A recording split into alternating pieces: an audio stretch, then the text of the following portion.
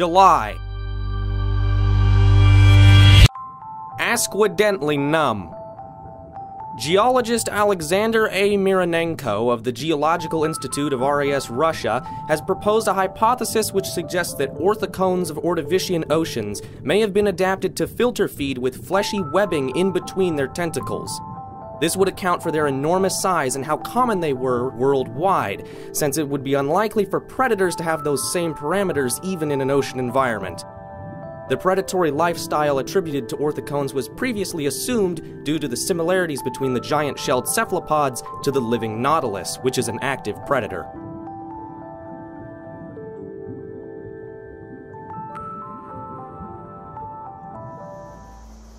Ingentia prima. As much as we know about the past, everything we do know is constantly put to the test. A new basal sauropodomorph has been described from partially complete remains discovered in South Africa. Ingentia prima, as the fossils have been named, represents a reassessment of previous wisdom of the sizes sauropod dinosaurs reached at certain times. It was previously thought that sauropod dinosaurs achieved their gigantism during the Jurassic period with adaptations such as columnar limbs, wide excessively fused hips, and balancing necks and tails. But it turns out Ingentia turns the clock back on body size many more millions of years, back into the late Triassic period, and also showcases anatomy that is more common amongst the smaller early sauropodomorphs, such as long clawed forepaws, shorter necks, and general anatomy more like the theropods that were becoming more common during the late Triassic. There is no end to broadening our understanding of the past. Xiaophis myanmarensis, there's a reason the theme of this year's Paleo Rewind is amber, because someone had a field day describing all the weird little monsters that got themselves trapped. On top of a frog, an ancient bird, a tick, and a beetle, we can now add a snake to the roster of frozen amber mummies. A recently hatched baby snake found itself in the wrong place at the wrong time, and now we have this beautiful specimen. Akainacephalus johnsoni. Akainacephalus is a previously unknown species of ankylosaur from what used to be the southern part of the western continent of North America during the late Cretaceous period. This ankylosaur is unique for it is more closely related to Asian ankylosaurs than the ankylosaurs that are found in more northern latitudes in North America.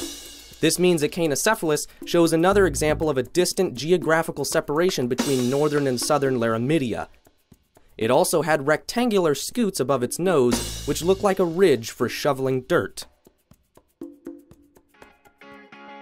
Lingwulong changkai. A newly described species of sauropod places the evolution and spread of the diplodocoid sauropods millions of years earlier than previously thought. Diplodocoids, like the group's namesake Diplodocus, are a group of sauropods with usually long whip-like tails and suspension bridge-like necks. They were the longest long-necked dinosaurs of all time. A sect of the group, called the Dicraeosaurids, started to adapt the opposite way, with shorter necks and sturdier legs and torsos. Lingwulong is the new Dicraeosaurid that breaks up previously understood models of evolution and radiation of the long-necked diplodocoids. This new short-necked sauropod comes from the early mid-Jurassic period of China, which was thought to be devoid of these types of sauropods beforehand. Now it is clear that these humpbacked, stump-necked sauropods entered into East Asia earlier than previously thought, and that a lot of the more advanced families of longnecks originated earlier than we would have guessed, since Lingwulong was a more derived animal in younger rocks.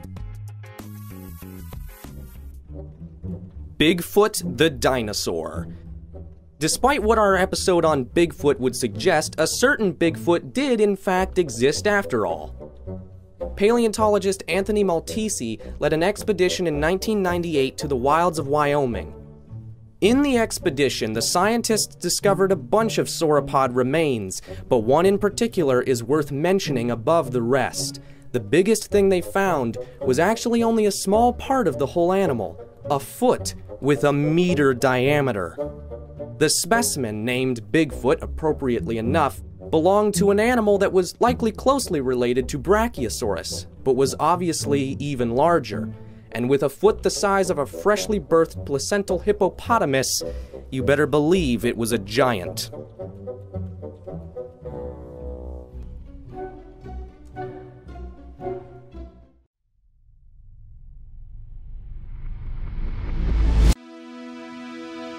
Draco multiendius.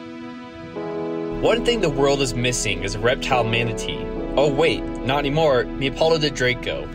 This marine reptile, described by Carlos de Miguel Chaves, Francesco Ortega, and Adán Perez Garcia, Paludidraco represents a suite of characteristics that suggest a manatee-like lifestyle of peaceful grazing and marine foliage.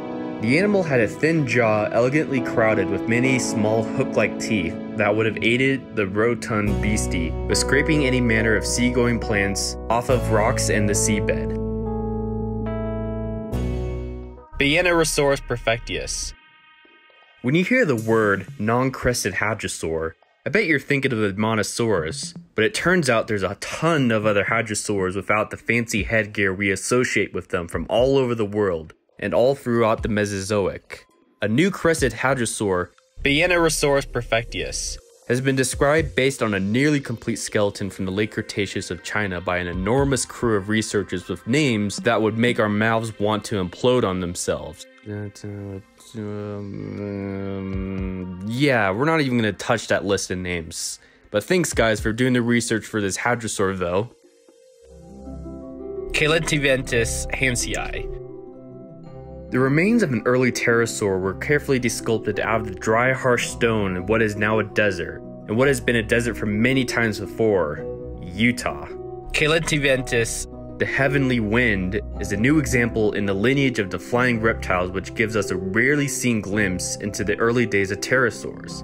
With the wingspan of your average snake that is too stressed for this, the only other relative of Caelestiventus is the famous Dimorphodon of England, and they share a lot of similarities such as especially misaligned teeth, large openings in the skull, and little flaps under their chins.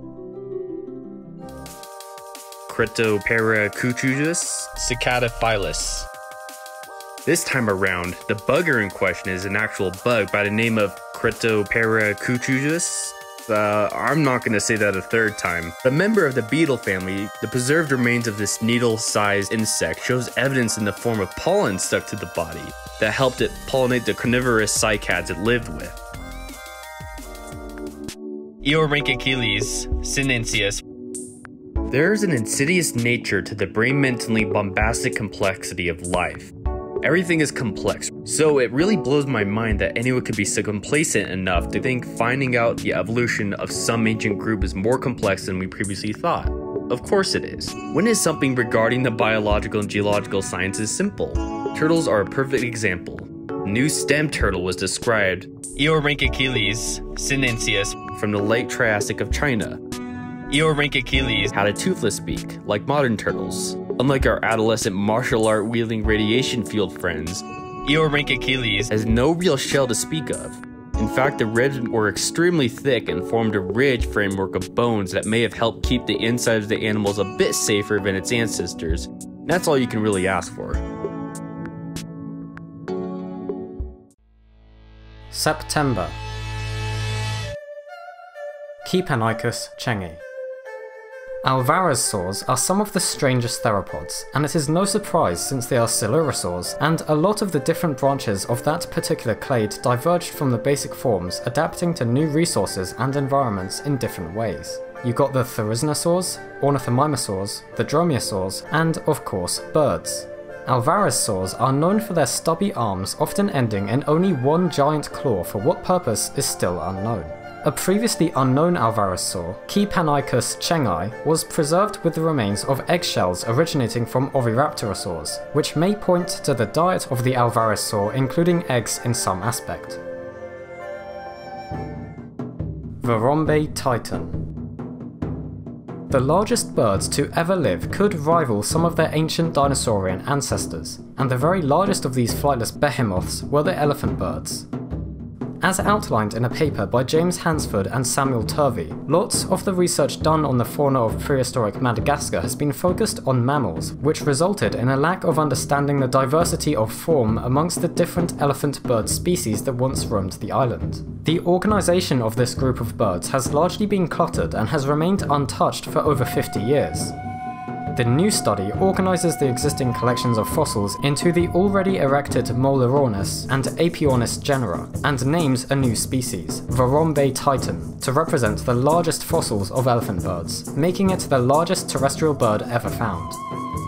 I, for one, welcome our new beaked overlords.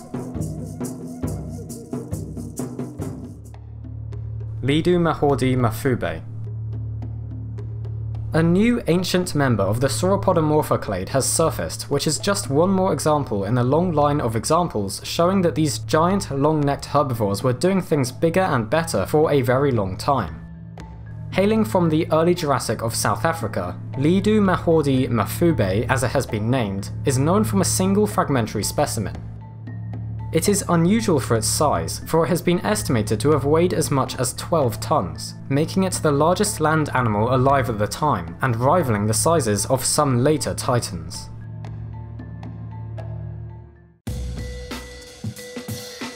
October Dynamoterror dynastes. New tyrannosaurs are important in getting a better image of just how complex that family tree is especially since they were some of the last dinosaurs and appeared relatively recently in geologic time. Just such a find was made. Dynamoterror dynastes is its name, and unfortunately, for such a cool name, the remains are some of the most fragmentary you can get. The beast has been estimated to be around 9 meters long and roamed the Earth roughly 75 million years ago. Its discovery is crucially important, as it is one of the only fossils to have been found in the Menifee Formation which shows that there was more Tyrannosaur biodiversity than previously thought on the western side of the Western Interior Seaway. The name is a tribute to a fossil specimen which turned out to be from the infamous T Rex, Dynamosaurus imperiosus. Baby does as a baby do. The steps between an ancient beast's birth and death are important in understanding the natural history of not just the animal in question, but also the ecosystem the animal inhabited. A series of fossils have been described of the youngest member of the Diplodocus genus, which show how these animals changed as they aged. The baby, estimated at around 6 years old, had a skull only 24 centimeters long. The skull shows that the animal started out with a blunt skull with teeth only at the front, which eventually morphed into a broader snout with teeth, then went back a bit further into the mouth. Laosuchus naga. Previously undescribed amphibian, Laosuchus naga, was a giant predatory crocodile-like predator which patrolled the waters of early Triassic of Laos. Consisting of a nearly complete skull, Laosuchus represents the Chroniosuchian order of ancient amphibians that are in no way related to modern amphibians and acted as large crocodile-like predators, some of which even had large scale-like armor on their backs. Archaeopteryx comes around again. Re-examining fossils already collected and described might seem like more trouble than it is worth, but sometimes you may find something quite extraordinary that was previously overlooked. Looking through the 11 or so specimens of Archaeopteryx has resulted in the designation of a new species, Archaeopteryx albersdorferi, the new distinction was made due to the wonders of 3D X-ray scans which have shown this specimen of Archaeopteryx to differ from the others in fusion of skull bones and pectoral bones in different configurations, and a sturdier construction of the wing bones holding together the fingers and hands together. Propiestus archaicus. Amber Mine keeps chugging with the description of another unlucky insect which found itself in tomb. Propiestus archaicus was a beetle as long as a 3mm bullet is wide, with a flat body and long feathery antennae. This little insect may have used the flatness of its body and the impressive feelers to sense its way around the musty dungeons of the bark of trees a hundred million years ago. Its closest living relatives today are found in South America, and this amber fossil was uncovered in Myanmar, which gives clues as to the separation and movements of the continents over time. Blind and dumb. Using the brilliant technology of CT imaging scans, scientists were able to look inside the brain of Aepyornithids, the elephant birds. They found that the part of the brain which worked to process visual images was remarkably small. This means that these big bird sized big birds were not very good at seeing you and would have used their other senses to make their way around their lush Madagascan home. This revelation suggests the birds may have been nocturnal like their closest living relative, the kiwi. This may mean the elephant birds had bristle like filaments around their beaks and faces to sense their way around the forests, also similar to the living kiwi birds. But I guess we'll see about that if the right remains are found.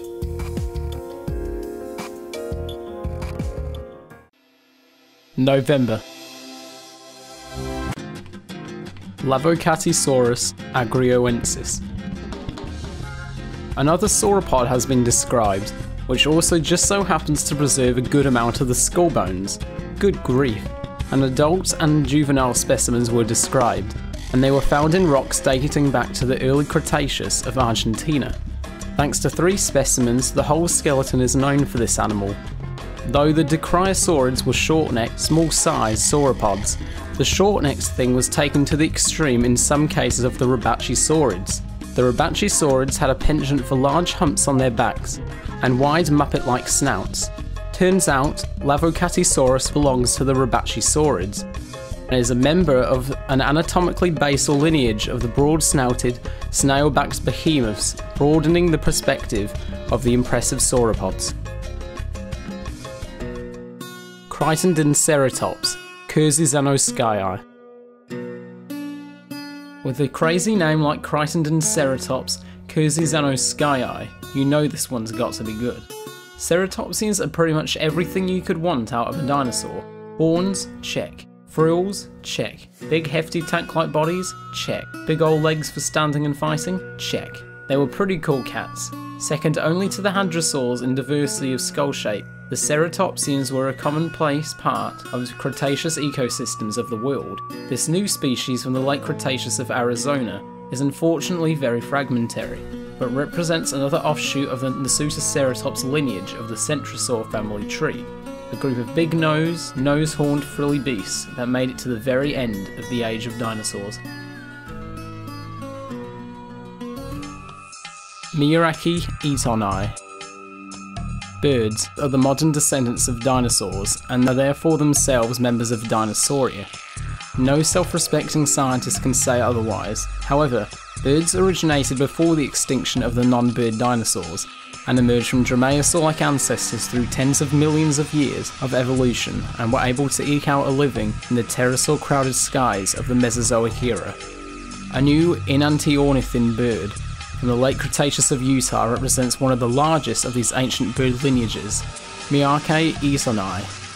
The size of a deliciously plump raven, Mirarce was capable of more advanced flight than its relatives, evidenced by the presence of quill knobs in the forearms, which deeply anchored feathers to the arm, a V-shaped wishbone for bigger and stronger flight muscles, and the sternum is deeper to provide for the bigger muscles. Gordodon kraineri. Pelycosaurs are a group of proto-mammals belonging to the Synapsid group, which we also belong to. They were very different from us in many ways, and plenty retained and convergently developed or redeveloped somewhat reptilian traits, though we split from the family tree before the origin of Reptilia proper, so whatever. A lot of these creatures sported tall spines on their backs, which formed sails with unknown purposes, a new sail-backed proto-mammal, Gordodon kraineri, sheds some light on the vegetarian tendencies of the Edaphosaur lineage of proto-mammals. Gordodon had a set of large teeth at the very front of the mouth, after which was a toothless space called a diastema, which was then followed by molar-like teeth at the back of the mouth. This arrangement of teeth is the earliest example and is seen in much later animals, like deer and goats. perfectly balanced, as all things should be. Breaking headlines at the end of 2018 was the outrageous description of a previously unknown baby armed theropod dinosaur with a smushed in face by the name of Thanos simonattoi.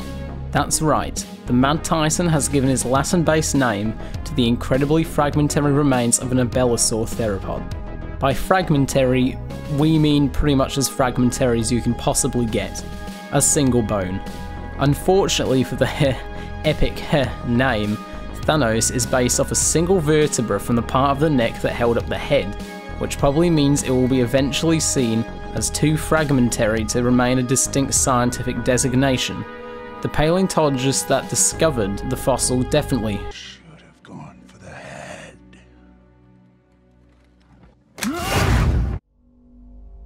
Lisowicia bojani.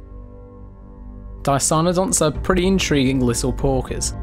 With the body and possible habits of a hippopotamus, the stubby legs of a pig, the short stumpy tail of a bear, broad flat head of a turtle, and tusks of a wild boar, the Dicynodonts were a mascot-worth group of adorable, pudgy proto-mammals that took over the world during the Permian period and died out at the end of the Triassic period, and a new group of the animals, Lisowicia bojani, pushes the boundaries of this group beyond what was previously thought.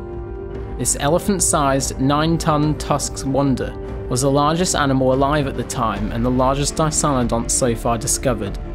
Not only is the size exemplary, but its fossils originate from rocks that date back to the late Triassic period of Poland, which means that Dicynodonts were alive and kicking even at the end of their reign.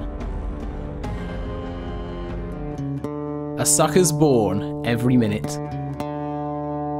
A new study by entomologist Dr. George Poinar, the guy we can thank for the idea to extract DNA from fossilized mosquitoes, took a look at a bunch of different aber preserved, blood sucking arthropods from 15 to 100 million years ago.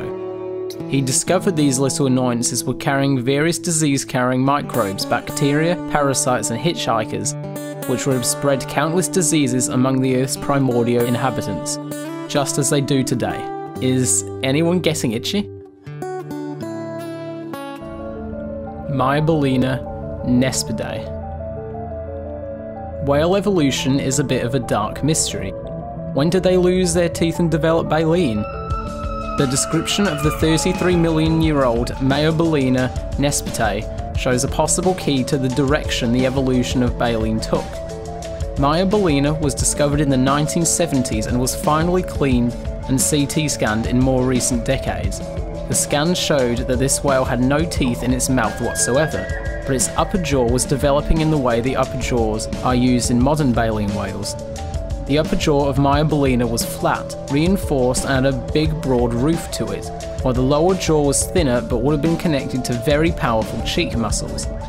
This arrangement is similar to the modern filter feeding marine mammals, but it was missing the filter feeding teeth, and it has been suggested that Maiabalaena would have sucked in big gulps of water and sifted out the water for the smaller prey items like fish and crustaceans, which were then swallowed. December. Stop your blubbering. During the Mesozoic era, the oceans of the world never got to the frigid temperatures we see in the polar regions of present day. However, that doesn't mean that it could never get cold. The animals that thrived in these environments were reptiles, fish, and birds. There were no mammals, so it may be a shock to find out that the large-bodied marine reptiles are more like mammals than was previously thought. The larger you are, the more likely you are to produce heat from just being alive, and the larger you are, the more likely you are to keep that heat. Such is the case for the leatherback sea turtle of today. Despite being related to cold-blooded reptiles, the shelled navy blue leviathan is capable of traversing the cold depths of the Atlantic Ocean because it is so large that it is effectively warm-blooded. And it is very likely that marine reptiles of the Mesozoic were similarly kinda cold, kinda warm-blooded animals. A recently described fossil of the ichthyosaur, Stenopterygius, has preserved the impressions of soft tissue, and the particular soft tissue is a couple inch thick layer of blubber that would have encased the entirety of the fish-like reptile to keep it warm when it dived down to the extreme depths in search of a calamari dinner. Most marine reptiles also give birth to live young, so grows the mountain of evidence that these reptiles are more mammal than we give them credit for.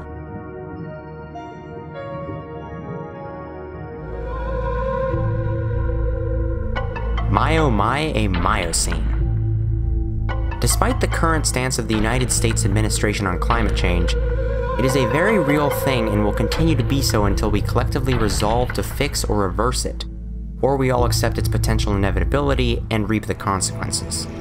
Recent studies done by a multinational group of climate scientists have suggested that the rate at which our planet is warming is setting a course for the future of Earth that will place it at a similar climate to what it was like back in the Miocene epoch 50 million years ago.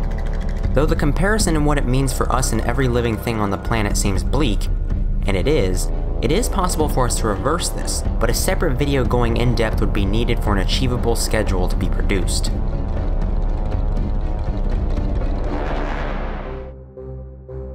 Four hundred and fifty times one hundred legs. Millipedes are some of the most adorable of the creepy crawlies you can own. Generally harmless with teeny little faces, antennae that also function as mustaches, and a million little legs that tickle, lends them preference in the herpetological hobby. Turn the clock back 100 million years and they're still around, but this time trapped in amber. 450 newly described specimens of millipedes fossilized in amber are the oldest known examples of certain groups and offshoots of the millipede family that went extinct.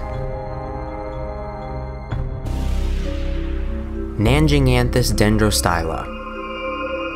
There's always room for crushing stereotypes and turning down archetypal ideas of ways things worked in prehistoric times. This time, a previously known species of plant breaks the old moniker. The last of the dinosaurs saw the first flowers. Nanjinganthus dendrostyla is the earliest known angiosperm flower on record, dating back to 174 million years to the early Jurassic period. No longer are flowers restricted to the Cretaceous period, but may have been a component of ecosystems for a lot longer.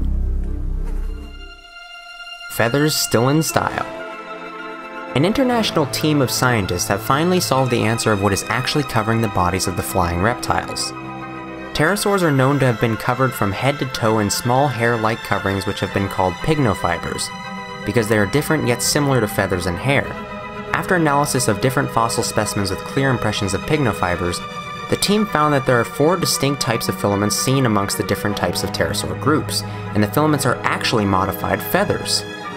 Four types of feathers were distinguished simple filaments that look like hair, bunched filaments ending in a brush like structure, filaments with a tuft of feathers halfway down the shaft, and a downy filament. Some of the fossils preserve melanosomes which correspond to a generally brownish gingery color from a group of sparrow-sized frog-mouthed pterosaurs called Anurognathids.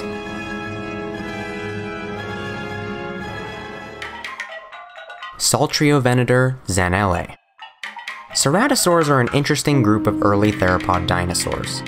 They do not place very well amongst the grand group of the theropods. Obviously, they are more of an early basal group, but where exactly is not an easy answer. Abelisaurs are the short-muzzled, tiny-armed descendants of the ceratosaurs, and have been aligned accordingly. And the new ceratosaur described from Italy adds another member to the early start of this family tree. The specimens of the new member of the Ceratosauria clade were originally found in 1996, but was informally named Saltriosaurus. After extensive analysis and proper description, the newly renamed Saltriovenator breaks the record for largest theropod from the early Jurassic period.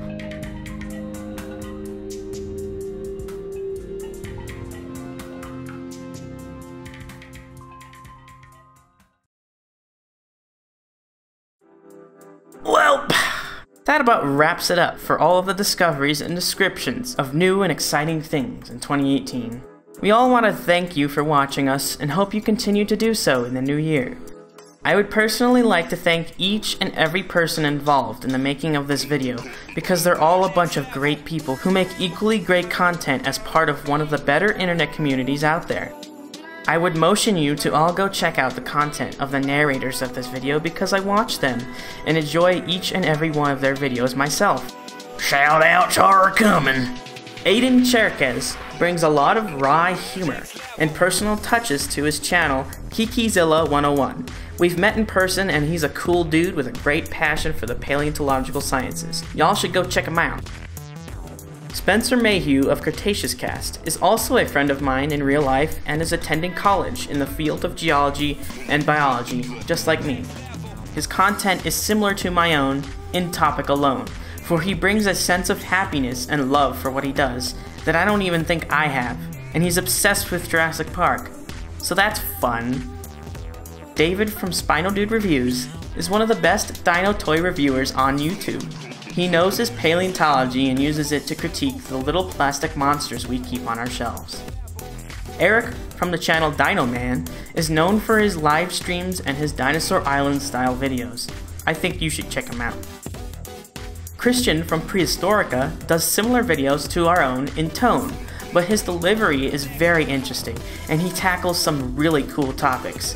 He is the creator of our Bone Wars miniseries.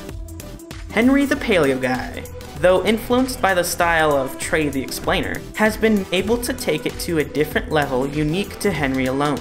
His perspective from New Zealand peppers his videos with a sense of wildlife conservation for the birds of his home. Ben and Ollie from Ben G Thomas are fantastic creators I have worked with before. A team of a few close friends, the Ben G Thomas channel makes lovely content, and honestly, I kinda wish I had been subscribed to them earlier. Trey the Explainer. Not much is really need to be said of Trey, other than, you know, barn owls and basking sharks. Gibson of Bioniclesaurus is probably at the top of paleontology focused reviewers. His content includes scientifically accurate dinosaur figures taken out into the wilderness with deliciously crisp camera quality, figure reviews, and much, much more.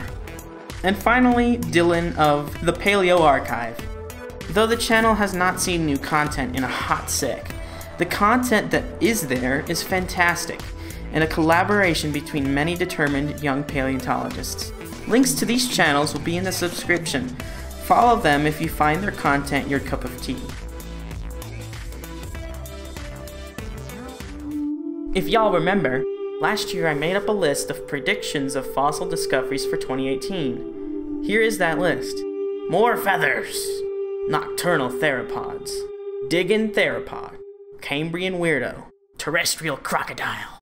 Omnivorous ornithischians. Now, how did it align with what was described? Feathers were definitely found, and a few even with pigments attached to them, and lots of Cambrian weirdos were announced. Unfortunately, the digging theropod remains are still unnamed and undescribed. No irrefutable nocturnal theropods were described, no terrestrial crocodiles, and no omnivorous ornithischians were described either. Two out of six, huh? Oh well, maybe next year. From now on, I'm gonna keep this list running every year. Those that get discovered will be removed from the list and new ones added for the next year. So, in the place of the last two, which did come true, I'm gonna add perfectly preserved marine reptiles. This year was a freaking treasure trove for marine reptiles. I bet next year will bring us even more marine reptile fossils. Probably so well preserved that soft tissue impressions will be found, and a whole slew of new things will be learned about them. And I can't wait.